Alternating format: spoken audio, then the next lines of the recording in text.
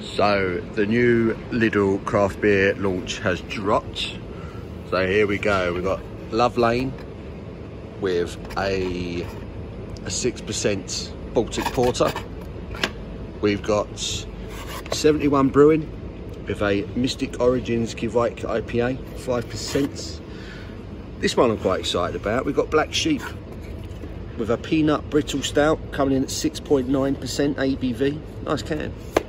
Uh, we have got Lane with a can of their, I'm dropping it on the floor, with a can of their Fader Juicy IPA from Lane Brew, 5.1. Uh, wild beer, I've got their Pogo Fruit Pale in here. It's been around for a while, that one. Uh, Yeastie Boys, I've got a beer in it. It's their Gunnamatta Earl Grey IPA, coming in at 6.5. Uh, Loch Lomond are back with a sour.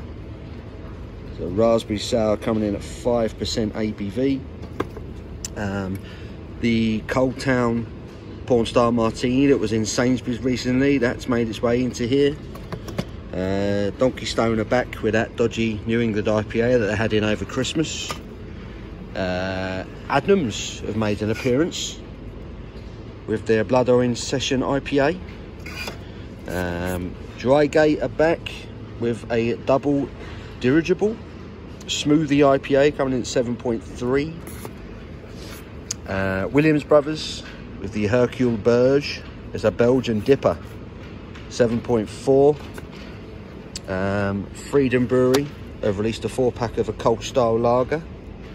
Uh, we've also got uh, Buckcombe with their Bohemia Craft Lager. Um, from Steambox, it's their Funnel Blower Dark Vanilla Porter. Award-winning ale apparently, 4.5%. Uh, we've also got Stuart, Stewart Brewing are back with a Chocker Clock Chocolate Stout, 4.5. And Thornbridge have made an appearance with their Bliss Point, which has been around for a while as well. So some pretty interesting beers in this range. Um, yeah, if you get down to your Lidl shop on a Wednesday night before they close, you might get them. But no one's touched these yet. So um, I'm going to be doing a live stream Saturday. And we're going to be trying a few of these. So uh, yeah, get down to Lidl. Cheers. Welcome back. Just got back from Lidl. I picked up a fair few of these beers. I wasn't expecting this Lidl launch to be anywhere near as good as it was. It was a quite a, a considerable beer launch. Um, I picked up 11 different beers. Wasn't expecting to. I didn't get all of them. A few of them I really didn't fancy. What I thought I'd just do a quick run through what I've got and I've got my receipt with the prices on it. So um, we'll start off. This was the one I was really interested in. So this is Black Sheep with their Peanut Brittle Stout. 6.9% uh, ABV. Uh, for the Peanut Butter Fiends. Unflinching Stout.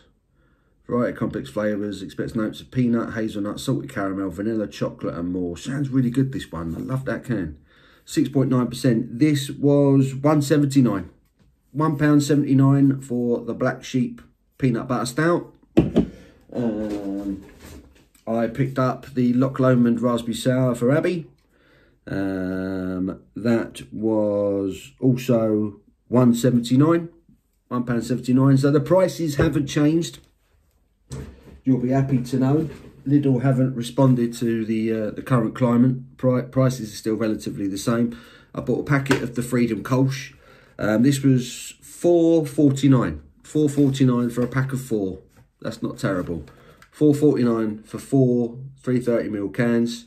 Freedom do a half decent lager, so I'd imagine this Kolsch won't be terrible, but we'll soon find out. Um, the Yeastie Boys Earl Grey IPA. Um, I've not always been a fan of Yeastie Boys, um, but they are they have got a very good reputation. They brought Kiwi hops to the masses. So uh, where is it? Where is it? Yeastie Boys Earl Grey. This is one pound forty nine. So the three thirty is one pound forty nine. Um, I got the Williams Brothers Belgian Dipper. This seven is it seven point three, seven point four percent Belgian double IPA from Williams Brothers. Um, this one was 179 as well. 179 for a Belgian double IPA. Um, I picked up the Juicy IPA from Lane, their Fader. Um, this one was also 149. So 330 is 149. 440 is 179. the Drygate Peach and Raspberry Smoothie IPA. Um, this is 7.3% as well. This one was this one was 199. This one was 20p dearer. So 199 for the peach and raspberry smoothie IPA. But it's got this um yeah, strange that. The 71 Brewing Kveik IPA, Mystic Origins. Uh, this was 179. The Love Lane Baltic Porter, I picked up one of those. Um, that was 179. And the last two I picked up, the Stewart Brewing Chocolate Stout, uh, 179. And then the last one I picked up was the Funnel Blower, the Vanilla Porter. And that one was, where is it? Where is it? They've forgotten to charge me for that one. Kveik, chocolate stout. It hasn't seemed to have come up on my receipt. Oh no, there it is. Funnel blower ale, 149, 149, 500 ml bottle. So yeah, the price is still the same, still reasonable.